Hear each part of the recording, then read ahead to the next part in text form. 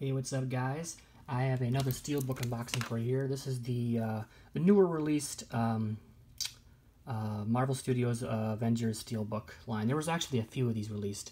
Um, I think from the same artist. Yeah, Matt Ferguson. It says up there. You can't read it because the sticker's there, but it's um, Matt Ferguson designed artwork. Um, it's the Avengers, uh, Avengers 2 Age of Ultron, and Civil War, I believe. They're releasing some more or later too, uh, Ant-Man and something else, I think. Um, so I don't know if they're going to release all of the previous Steelbooks um, in this type of artwork. I don't know if that Matt Ferguson has actually done them all, but uh, they're releasing a bunch. So I told myself I wasn't going to buy this, and then of course I did because um, it's one of the only ones I don't have in Steelbook form. It's actually funny, the two that I did not have in Steelbook form were the original Avengers, which I think only had a metal pack or something back in the day, and then Ant-Man I just skipped when that was released because I didn't care for that design. And since they're releasing one, I'll probably get that one too. So um, anyway, here's the design.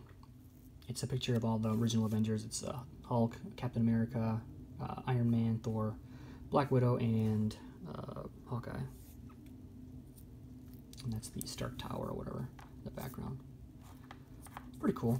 I believe it's it's just uh, yeah one disc with a digital code, so there's no DVD in here. I don't think there was a separate like bonus disc or anything previously, so it's the same disc as before, I assume, which is fine.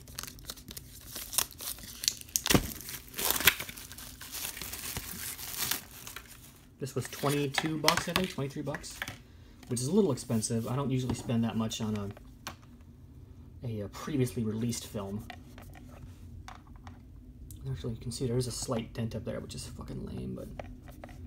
And some glue residue. I can take care of that in a second, though, but uh, otherwise...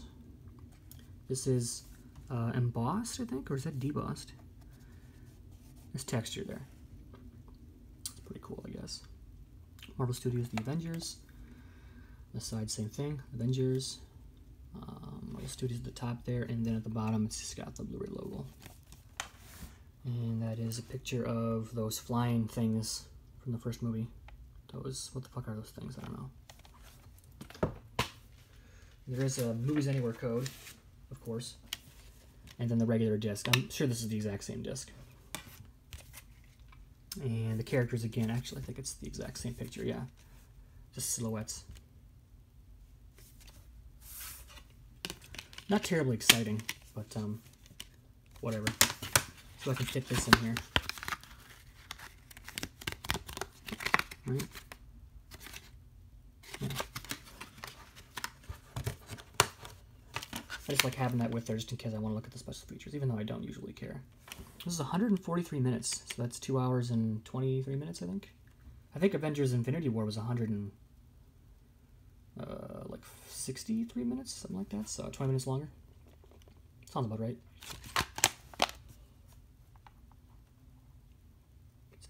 I don't like that. Oh well. So that's it, guys. Thanks for watching. Um, I'll have more steelbooks in the future because this is all I buy now. and like horror stuff. But uh, thanks for watching, guys, and I'll see you around for more later.